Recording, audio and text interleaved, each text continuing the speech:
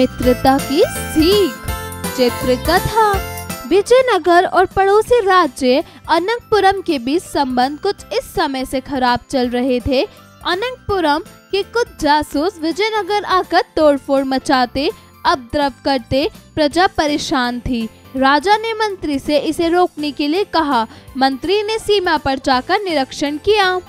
अगले दिन आकर बोला, महाराज सीमा पर ऊँची दीवारें खड़ी कर दी जाएँ, तभी ये समस्या हल हो सकती है।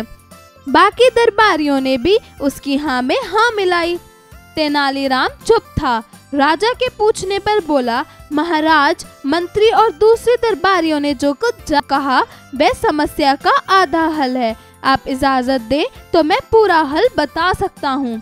राजा ने चौंक कर कहा अच्छा बताओ तुम्हारी क्या राय है? महाराज, मेरा तो यह विचार है कि दरबार बनाने की नहीं, बल्कि हटाने की ज़रूरत है। लोग इधर से उधर आएँगे जाएँगे तो शत्रुता हमेशा के लिए खत्म हो जाएगी। मंत्री चिढ़कर बोला, महाराज तेनालीराम ऊँची हाक रहे हैं। इन्हें शत्रु की असलियत नहीं पता। राजा ने कुछ सोचा, फिर तेनालीराम से कहा, तुम सीमा रेखा पर सुरक्षा का इंतज़ाम देखो। शत्रु के जासूस इधर ना आए। यह जिम्मा तुम्हारा है। तेनालीराम ने उसी दिन सीमा रेखा पर चौकियाँ बनवाई।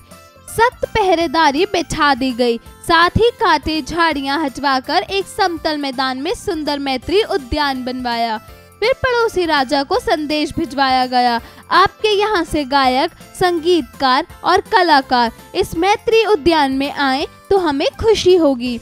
अगले पंद्रह दिनों में अनगिनत कवि, लेखक, कलाकार आए। बड़ा अनोखा मेला जुड़ा, जिसमें मिलकर गायकों ने दोनों देशों के लोकगीत गाए। नृत्य और अन्य कार्यक्रम हुए और सभी ने दोस्ती की कस्में खाई। वाह वाह वाह, क्या बात है! उसमें राजा कृष्णदेव राय भी मौजूद थे। वे तल्लीनता से यह अनोखा मेला देख रहे थे। कार्यक्रम खत्म हुआ तो बोले तेनालीराम ने ठीक कहा था। आज से दुश्मनी की रेखा खत्म। अनंतपुरम के राजा ने वचन दिया है कि वे अपने देश में भी ऐसी ही दोस्ती का मेला लगाएँगे। तेनालीराम ने सुना तो उसके मुख पर मुस्कान छा गई। तेनालीराम, तुम्हारी सूझबूझ का जवाब नहीं। अब तो हर कोई तेनालीराम की प्रशंसा कर रहा था।